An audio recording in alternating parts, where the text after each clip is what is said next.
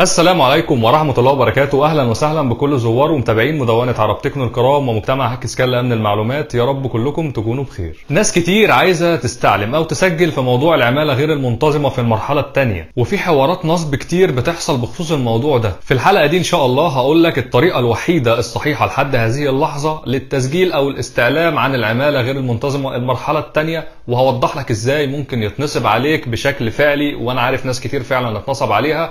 فخلينا نبدأ مباشرة. بس قبل ما نبدأ فضلا وليس أمرا لو استفدت من المقطع ده ما تنساش تدعمني ب like وتشترك في القناة وتفعل زرار الجرس علشان يوصلك كل جديد. ولو عندك أي استفسار اكتب لي في الكومنتات و share الحلقة مع الناس علشان الكل يستفاد بإذن الله. يلا بينا نبدأ. بسم الله.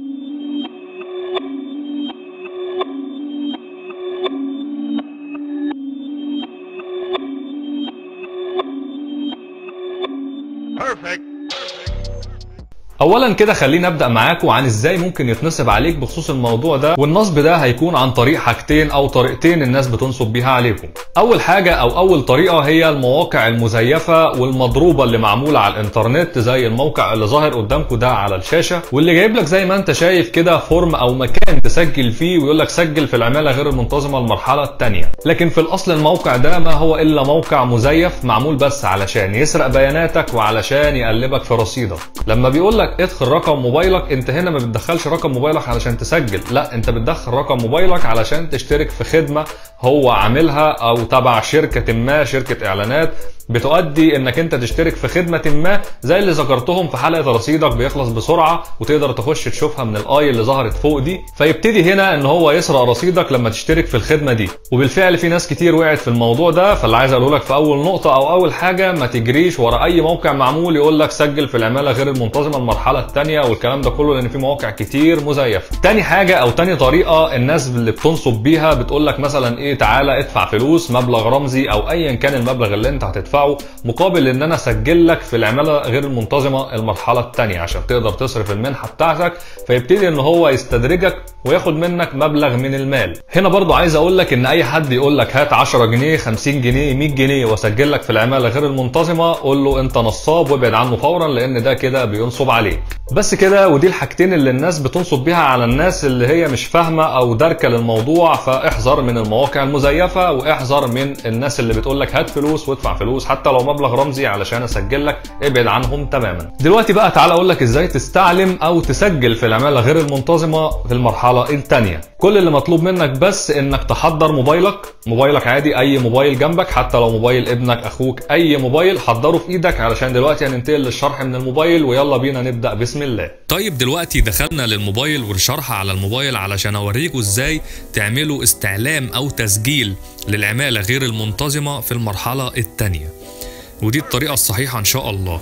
أول حاجة هتخش على تطبيق الرسائل كأنك هتبعت رسالة لحد. يعني كأنك هتبعت message SMS لأخوك لوالدك لحد قريبك. عادي جدا بالطريقة الطبيعية. هتعمل إنشاء رسالة. هيقول لك إيه؟ لأ أنت عايز تبعتها لمين؟ الرسالة المهم هتكتب 142 بس هنا تتأكد إن الأرقام مكتوبة بالعربي مش بالإنجليزي. يعني لو ال keyboard عندك الأرقام دي بال English غيرها وخليها بالعربي. تمام؟ كذلك الأمر برضو هنكتب في محتوى الرسالة النصية رقم القومي اللي أنت عايز تستعلم عنه أو تسجله. تمام؟ وده برضو هتكتبه بالعربي. هتخش مثلا أنا هكتب الرقم القومي وأرجع لكم تاني. والرقم القومي هيتكتب من الشمال لليمين. تمام؟ أنا كده كتبت الرقم القومي اللي معايا وهبعت رسالة عادية جدا بسعر الرسالة العادية جدا ل 142 زي ما قلت وشرحت. هبعت بسم الله. وزي ما أنتم شايفين كده جات لي رسالة وقتي كده فورا قالت لي هذا الرقم غير مستحق للمنحة لأن فعلا الرقم ده أو صاحب الرقم القومي ده لا يستحق للمنحة ديت. الرد هيكون سريع جدا مش هياخد معاك أكتر من دقيقة بالظبط وهيجي لك الرد إن شاء الله. ودي كل الحكاية ودي كل القصة بعيدا عن النصب والحوارات اللي هتحصل أو بتحصل لكم من ناس مش كويسة. فهي دي الطريقة الوحيدة الصحيحة حتى تاريخ هذا الفيديو. أو هذه الحلقة. الله أعلم هل في حاجة تاني هتحصل بعدين أو طريقة جديدة أو حاجة هم هيقولوها من قبل الحكومة يعني. الله أعلم. بس دي الطريقة اللي حاليا صحيحة بإذن الله تعالى. وبكده نكون خلصنا الحلقة بتاعت النهارده. ووريتكم إزاي تسجلوا تسجيل العمالة غير المنتظمة في المرحلة الثانية أو كيفية الاستعلام أو كيفية التسجيل ايا كان. فقبل ما تطلع ما تنساش تدعمني ب like علشان يدعمني إن أنا أستمر باللي جاي إن شاء الله.